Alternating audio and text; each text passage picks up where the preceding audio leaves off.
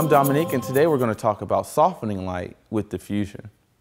Diffusion comes in various densities, sizes, and material. And here I have an assortment of Lee filters including opal frost, half frost, half white diffusion, full diffusion, light grid cloth, and full grid cloth. With grid cloth, it can be sewn into large panels and is also available as a silent fabric, which doesn't make any noise in the wind. Diffusion comes in various sizes depending on your application.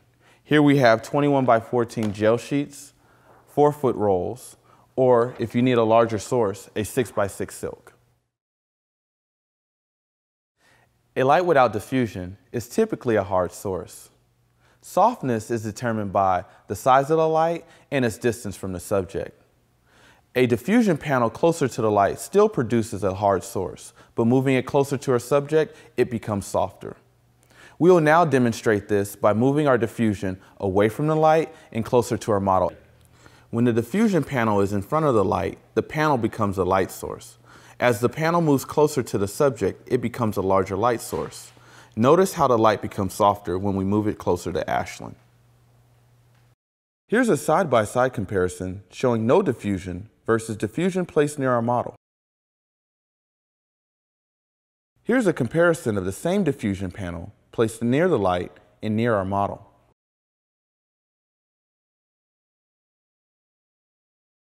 We're going to demonstrate six different types of diffusion on our actress Ashlyn.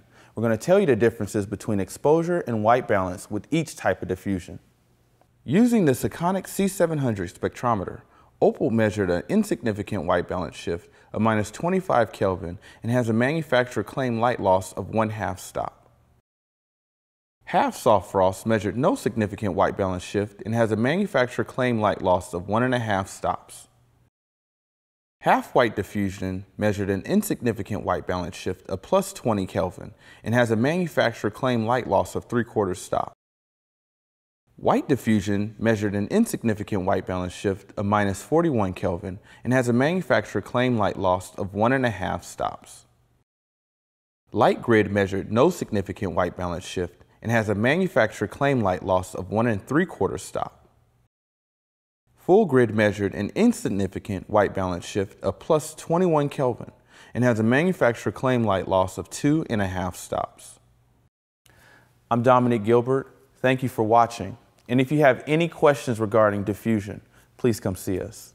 I also want to take the time in thanking the beautiful Ashlyn Savage for volunteering. And we look forward to helping you out. Take care.